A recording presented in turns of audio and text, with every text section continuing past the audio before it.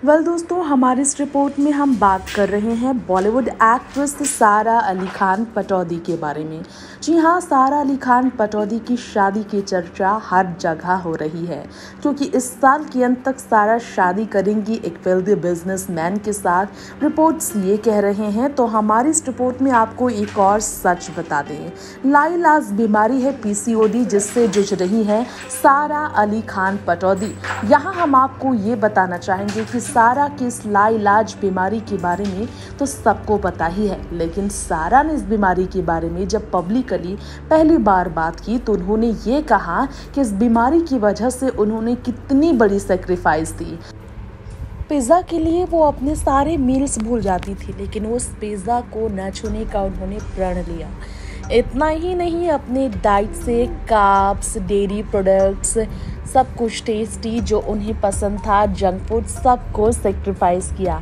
सारा ने पीसीओडी बीमारी के बारे में बताया कि इस बीमारी की वजह से वो कभी भी दरअसल पूरी तरह से ठीक तो नहीं हो सकती है। इस बीमारी से उन्हें छुटकारा तो नहीं मिल सकता, लेकिन इस बीमारी से उन्हें कम से कम आगे आने वाले टाइम पर ज़्यादा दिक्कत ना हो।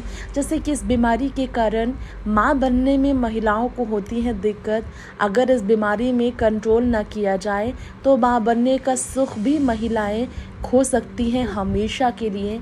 ये सब सारा जानती थी, इसलिए सारा अली खान पटौदी ने वो सेक्रीफाइस किए। अपने शरीर पर ध्यान देकर, ज़्यादा से ज़्यादा वर्कआउट कर वेट कंट्रोल करने के लिए उन्हें फूड्स को लिए के लिए भी सेक्रीफाइसेस किए और वो आज भी कर रही हैं। शादी से पहले भी कर रही हैं और शादी के बाद भी उन्हें ऐसा करना पड़ेगा, क्योंकि शादीशुदा महिलाओं में पीसीओडी की वजह से ज़्यादातर और प्रेगनेंसी में दिक्कतों का सामना उन्हें करना पड़ता है, ये सारा को पता है।